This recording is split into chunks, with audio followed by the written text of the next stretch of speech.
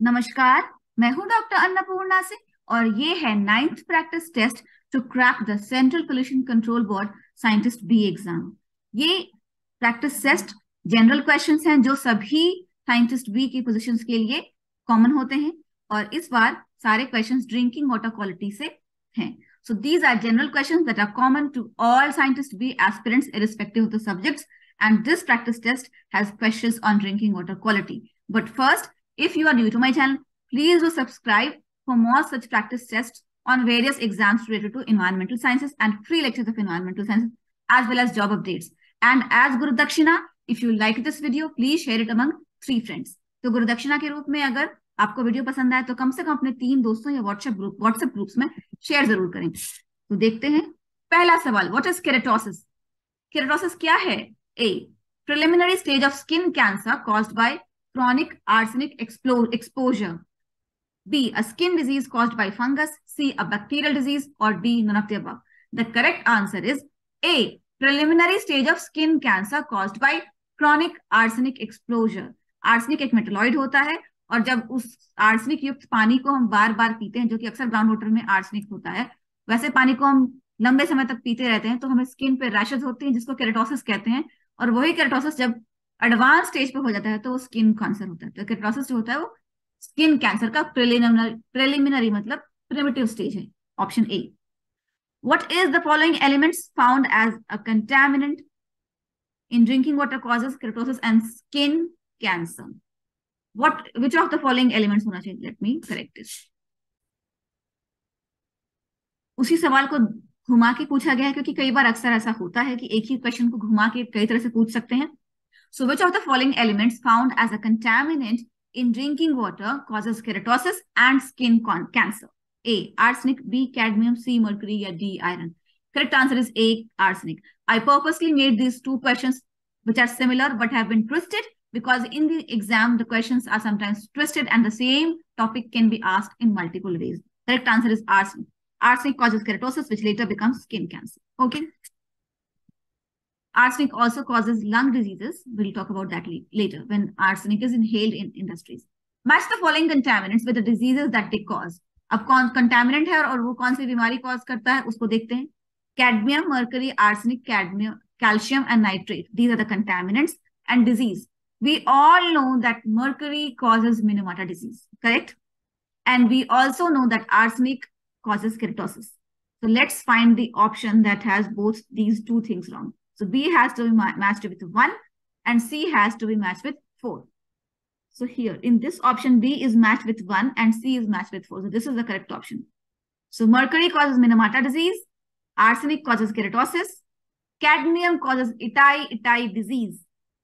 ठीक है calcium causes gastric issues जब पानी में कैल्शियम बहुत ज़्यादा होता है और हार्डनेस ज़्यादा होती है तो वैसे पानी को पीने से आपको पेट में दर्द पेट में तकलीफ़ डाइजेशन का प्रॉब्लम ये सब होता है तो कैल्शियम से गैस्ट्रिक इश्यूज़ होते हैं और nitrates causes blue baby syndrome nitrate जब पानी में ज़्यादा होता है और वैसा पानी जब बच्चे पीते हैं तो उनके खून में ऑक्सीजन की कमी हो जाती है और खून की कमी से जो बच्चों का शरीर है वो नीला हो जाता है और वही कहते हैं blue baby syndrome so when nitrate contaminated water is drunk by babies the blood of the babies loses carrying capacity. There is reduction in the level of oxygen in baby's blood.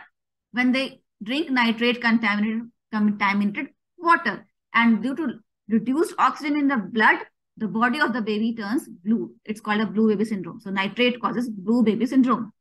Okay. Now let's do the fourth question. The metalloid arsenic that is often present in groundwater in the Gangetic plains of India and Bangladesh causes all of the above except. So arsenic say कौन कौन सी बीमारियाँ होती हैं? Keratosis yes skin cancer yes gastric issues issues yes आर्स्ट्रिक arsenic pollution in in its mildest form might cause gastric issues as well D pneumonia that's not correct तो arsenic जो होता है, वो गैंजेटिक प्लेन्स में पाया जाता है, ठीक है? और उसकी वजह से केरेटोसिस तो होता ही है स्किन कैंसर भी होता है और गैस्ट्रिक इश्यूज़ भी होते हैं। क्योंकि कोई भी अनवांटेड एलिमेंट जब आपके पेट में जाता है तो गैस्ट्रिक इश्यूज़ पहला सिम्टम होता है। लेकिन निमोनिया नहीं होता है। निमोनिया के कोई सिम्टम नहीं होते। निमोनिया में सर्दी, खांसी, बुखार होता है तो वैसा कुछ नहीं होता है तो D is the correct answer नहीं होता है pneumonia. Correct Question 5. Which of the following impurities from drinking water is removed a physical method which is boiling? तो ड्रिंकिंग वाटर का ऐसा कौन सा इम्प्योरिटी है जो बॉइलिंग से निकल जाता है?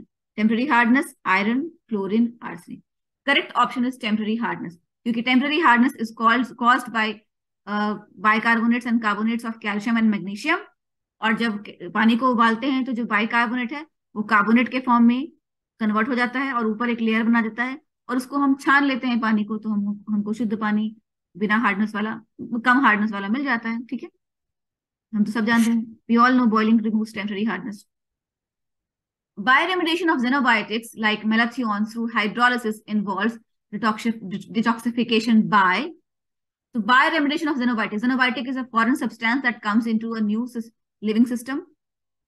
So biorem uh, or ecosystem. So xenobiotic like malathion and malathion is a foreign substance. It's not a naturally occurring system substance. So it's a xenobiotic compound. So bioremediation of xenobiotic compounds like malathion through hydrolysis involves detoxification by A. Removal of water, B. Addition of water, both removal and addition of water, or D. Removal of phosphate. Simple. Detoxification by hydrolysis. Hydrolysis means a water molecule comes and joins another molecule and it breaks the molecule into two. So addition of water breaks the molecule. That's called hydrolysis. So it's called, its option is B, addition of water. तो hydrolysis का मतलब होता है कि पानी का जुड़ना और जिस मॉलिक्यूल से पानी जुड़ता है उस मॉलिक्यूल को दो भाग में तोड़ देता है तो हाइड्रोलिसिस अपने आप में पानी का जुड़ना एडिशन ऑफ़ वाटर ठीक है और बायोडाइमेशन का मतलब होता है कि नेचुरल तरीके से तरीके से प्लांट्स या माइक्रोब्स की मदद से किसी सिनोबायोटिक कंपाउंड को सिस्टम में से हटाना, उसको बायोडाइमेशन कहते हैं, ठीक है? Question seven cholera is cause by which of the following organisms cholera इनमें से कौन से ऑर्गेनिज्म से होता है?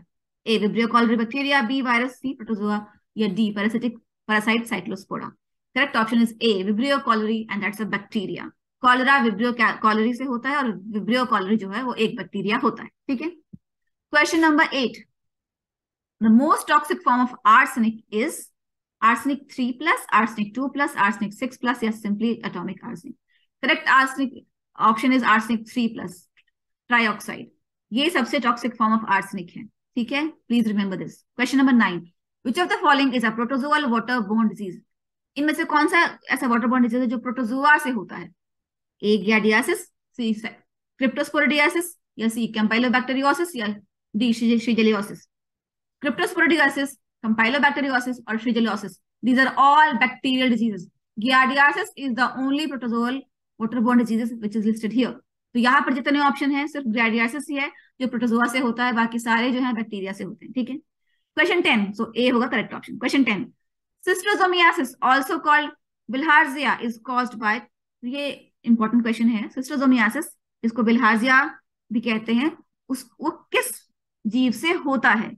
fresh water snails bacteria virus या प्रोटोजोआ करेक्ट ऑप्शन है fresh water snails fresh water snails whose intestine is infected by cystosomes or a parasite and when the freshwater snails they uh, they release their fecal matter in the drink, fresh water then those cystosomes they are also released in the fecal matter and that's how freshwater snails contaminated contaminated drinking water by causing, and they, and it ultimately causes cystosomiasis okay it's also called bilharzia or snail fever.